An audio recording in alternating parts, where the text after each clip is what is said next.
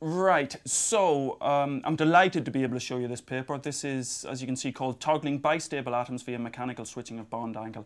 And it's the result really of 18 months worth, maybe even more than that, of experiments.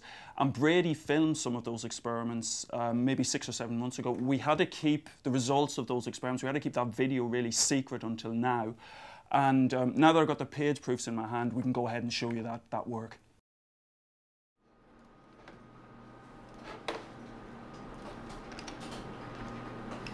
So what we see are each individual blob here is a single silicon atom. These atoms form little pairs called dimers, which are, are, are, little two atom units. We're going to bring a tip in and we're going to move one of those atoms, change the bond angle and flip it. So what we basically have is the smallest possible toggle switch you can have.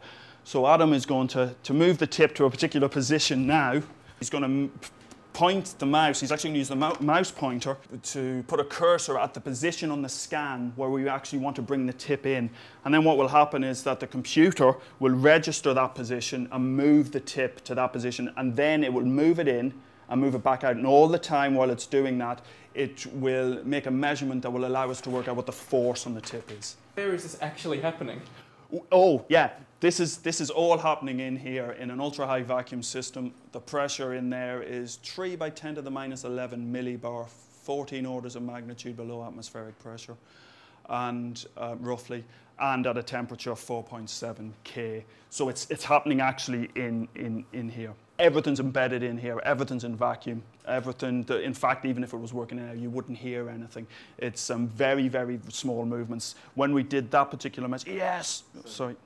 So what's happened here is that the atom that was um, once here, the atom that was down, what we've done is we've brought the tip and we've pulled that up. So it's, ju it's jumped up underneath the tip and suddenly appears at this, this, this new position.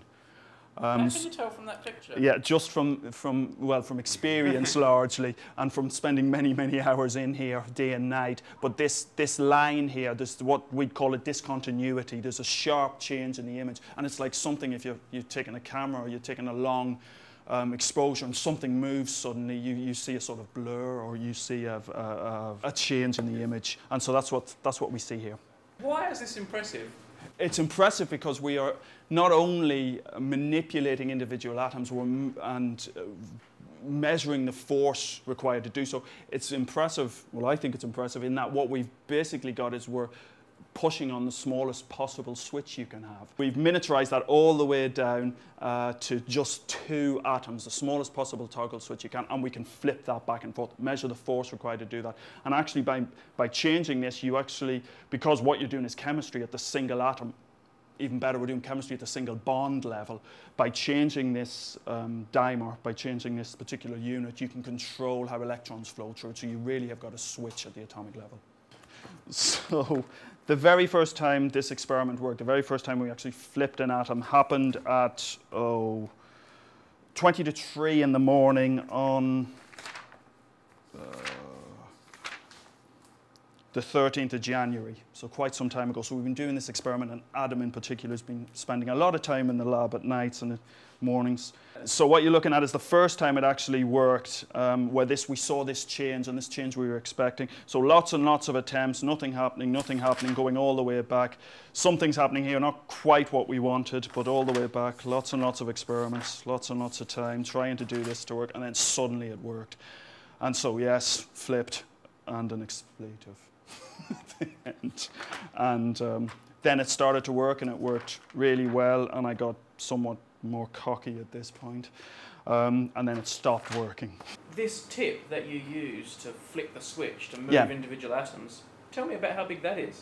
So that tip is a, right at the end, we want it terminated with a single atom. And in fact, we spent a lot of our, our experiments trying to get the tip to that point in fact, the majority of our time is not doing the really exciting, interesting stuff like this. The majority of our time, majority of Adam's time in particular, is getting the tip into a state where we've got one single atom sticking out the end. But what that tip is, is basically a piece of tungsten wire, bog standard tungsten wire, that is etched, electrochemically etched down to a fine point and then it's attached, it's literally glued on to a tuning fork, a tuning fork actually from a quartz, same type of tuning fork that's in a quartz watch in every quartz watch and every quartz clock, there's a, there's a tuning fork that basically vibrates back and forth, and that's the timing element. So with these experiments, what we do is we glue the tip to a tuning fork, and the way we can work out the force between the tip and the sample is to look at the frequency of that tuning fork, basically, to look at the frequency of one of the, the legs of that tuning fork and how that changes. And remarkably, just as if you've, you've got a mass on a spring, you change the, the, the, the weight on the end of the spring, that will bob back and forth at a different frequency. The force here is not gravity. We're not, gravity on this on these length scales plays no role at all. The force here is actually due to, that we're interested in is due to the chemical, the, the, the, the interaction of individual atoms via a single chemical bond. And we can detect that by the change in the resonant frequency of the, the tuning fork.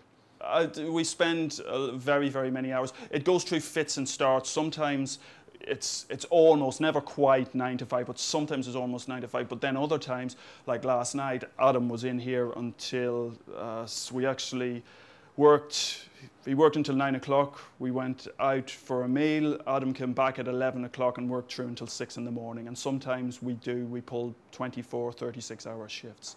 Why are you working these hours? Why do you come in here at night and do this? Some kind of undiagnosed mental condition. so we're looking again at those rows of silicon atoms. Um, so here's one row, here's another row. We've basically changing the, the orientation of these dimers um, along this row by using the tip to influence each, each, each dimer. So we are flipping individual atomic switches, basically. You've spent a lot of time in the, in the last year telling me about atoms and how atoms aren't little balls and nothing, nothing in the quantum world is fixed. Everything's moving, everything's blurred, everything's unpredictable.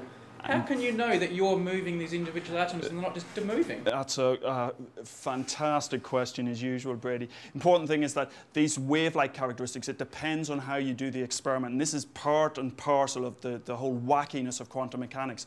Sometimes, like here, when we do the experiment, it's a solid object. It's like a sphere. It's, we can see that those are little balls that we are moving back and forth. Um, and it's, it's um, almost digital. We, well, it is digital. It's either like that or it's like that. There are two separate um, orientations of this. But other times when you do the experiments, they don't look like little balls. They act as if they're waves. And a really good example of this is C60. If we put a C60 molecule on this surface, and we do a lot with, with C60, C60 looks like a football in these images. It's a round object. But people have done diffraction experiments with C60 and uh, where it interferes like a wave.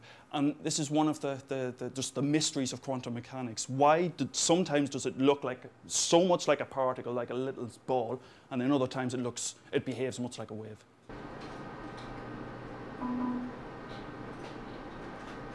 We've waited what seems like a bloody eternity. Um, what is it, an hour? Probably since we've, it takes about a half an hour per scan. Um, so what we have here, here's our first image of the surface where what, we've what you really want to focus on is this atom. So that atom is the up atom of one of these little switches. So we've got an atom here, we've got an up atom which we can see, but then over here we've got a down atom, got the lower atom which we can't see. And then what we've done is we've brought the tip in above this atom, and we've pulled it up. And then what happens is it looks like that. So now we can see the up atom and the down atom's done that. So we've got a flip, we've got a toggle. We've toggled this switch between those two states and we're, we, uh, on a single atom, single chemical bond basis. So why did we have to keep that secret? Why did, couldn't we broadcast that or upload that to YouTube six or seven months ago? Well, the, the reason why is for me something that's absolutely fundamental to how science works, and it's the process of peer review. So we got the results, we wrote up the paper. We, we were very excited about the results, so we decided we'd aim the highest we could, which was science and nature. We sent it to science and nature. They said, no, this isn't interesting enough. Um, we're not having it.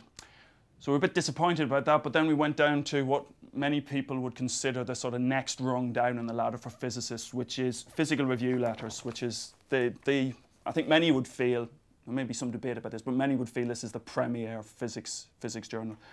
And then we were delighted to find that the referees, the, the, the, editors, first of all, of Physical Review Letters said, yes, this is, this is good, we think this is exciting, interesting, we'll send it out to uh, review. Two reviewers came back, basically said, yeah, effectively publish as is. That does not happen very often, certainly not in my career. That's one of the, the, the few times that that's actually happened. I've, I don't know, published off order 100 papers now, maybe three. I've come back with publish as is. Certainly, I've never had something go to physical review letters and come back publish as is. So we were delighted, absolutely delighted about that.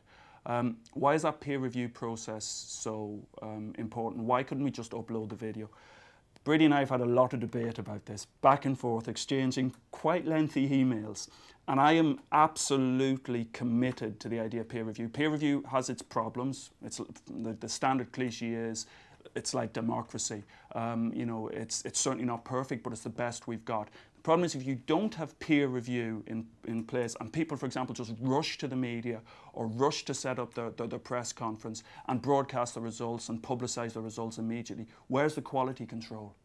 there is no quality control and you know there have been many cases and, and unfortunately the number of cases where this is happening is increasing quite rapidly where people have, have, have, rushed to the press and it's later been found out that the results are flawed when it goes to peer review.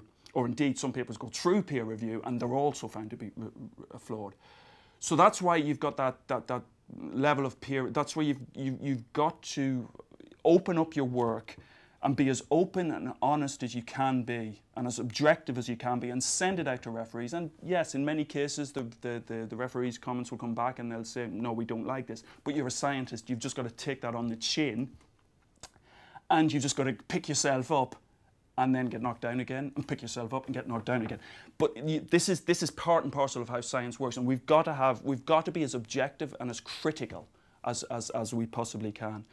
So with the, the peer review process, there's, there's an interesting friction there between you've got exciting results, you want to get them out, perhaps your competitors are working on this and you really want to, to, to try and, and publicize them as quickly as possible.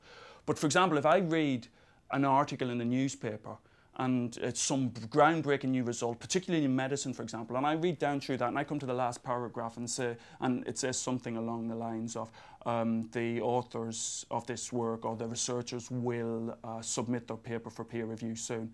I basically reject that. I just place no credence at all in it because until it's gone for peer review, all sort of all bets are off. It could be brilliant, it could be groundbreaking, or it could be completely flawed. I've been looking at some of what you've written, and it looks really hard to read and really boring. Who's the yeah, and, that's interesting. When you see it looks really boring, uh, we've done our best to write that in as an exciting style as possible. Um, the, uh, it's for other physicists, it's for other scientists. Um, what will happen is um, that we can, um, we write that in a very scientific, very terse style. Other physicists who are not in the general area of research actually might find some aspects of this quite difficult to get, to get their heads around. Similarly, if I was reading a, a paper on astrophysics, astronomy, particle physics, whatever, in physical review letters. I'd be able to follow the abstract, possibly. I'd be able to follow the intro. I'd hope to be able to follow the introductory paragraphs. But in terms of the general detail in the paper, it would just fly completely over my head. In that case, let me ask you this: If only you and a select number of people in the world can understand that paper, how is it doing the world any good? Because it's expanding the, the, the boundaries of science. The important thing is that this this work has shown that, uh, let's, in our case, it might seem like a, a, small step forward, and it is a small step forward, but that's what science is, is all about. It's taking these incremental steps. And although, um, you know, there might be a piece of research, for example, on quantum mechanics that only three people in the world can currently understand, that might just open up the floodgates to actually developing an understanding of all the problems with quantum mechanics. You know, what's the nature of the wave function, for example, what's the physical nature of the wave function. And the, the, the problem is trying to predict the impact of a paper or trying to, uh, you know, before the event or trying to ascertain just how much of a reach a paper is going to have is extremely, extremely difficult because science works by little sort of incremental steps that build and build and build and build and build. So the, the very interesting thing though with nanoscience is that nanotechnology, and this is true for other aspects of, of, of physics as well, is that in some cases, a, a, fundamental discovery, a paper, for example, on magnetoresistance, right, which sounds like a very technical term, and it is a very technical term. 10 or 15 years later, the results in that paper were being translated into iPod technology. And so something that appears very esoteric, very difficult to understand, can, in a relatively short period of time, revolutionize the world. In other cases, it may take 200, 300, 400 years, complex numbers being a case in point.